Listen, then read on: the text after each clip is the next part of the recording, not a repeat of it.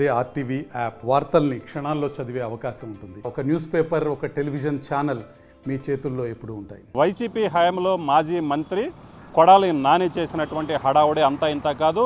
చంద్రబాబు మీద ప్రత్యేకించి చంద్రబాబు లోకేష్ మీద ఆయన విరుచుకుపడ్డ తీరైతే మాత్రం చాలా అగ్రెసివ్గా ఉన్నటువంటి పరిస్థితి ఉంది. అయితే ఎన్నికల సమయంలో ఆయన మాట్లాడిన మాటలు చంద్రబాబు కుప్పం నుంచి ఖచ్చితంగా ఓడిపోతాడు. ఈసారి చంద్రబాబు గెలిచినట్లయితే తాను చంద్రబాబు బూట్లు తుడుస్తూ ఆయన దగ్గర ఉంటానని చెప్పడం జరిగింది. అయితే ఎన్నికల్లో మొత్తం సీన్ మారింది. చంద్రబాబు కుప్పంలో గెలిచారు కొడాల నాని గుడివాళ్ళలో ఓడిపోవడం జరిగింది. అలాగే వైసీపీ పదకొండు సీట్లకే పరిమితమైనటువంటి పరిస్థితి ఉంది. సో ఈ నేపథ్యంలోనే కొడాలి నా మాటలను గుర్తు చేస్తూ కూడా గుంటూరులో ఫ్లెక్సీలు వెలిచాయి.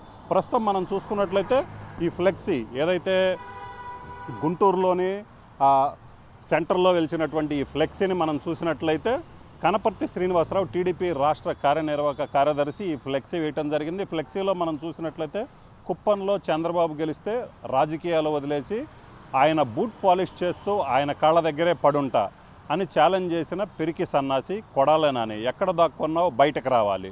సో ఇలాగా ఈ ఫ్లెక్సీలు ఇక్కడ టౌన్లో ఏర్పాటు చేయడం జరిగింది. అలాగే మరోపక్క చూసినట్లయితే చంద్రబాబు అక్కడ ఉన్నారు.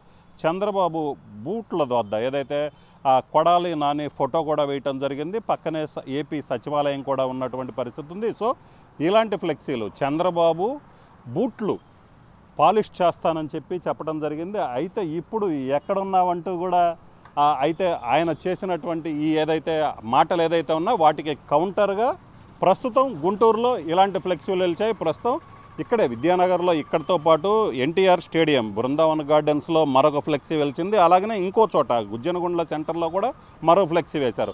సో టీడీపీ రాష్ట్ర కార్యనిర్వాహక కార్యదర్శి కనపర్తి శ్రీనివాసరావు పేరుతో ఈ ఫ్లెక్సీలు వేయటం అనేది ఇప్పుడు సంచలనంగా మారిందని చెప్పుకోవచ్చు. ప్రధానంగా కొడాలి నానికి సంబంధించి చూసుకున్నట్లయితే కొడాలి నాని ఏదైతే ఛాలెంజ్ చేశాడో ఆ ఛాలెంజ్ నిలబెట్టుకోవాలి.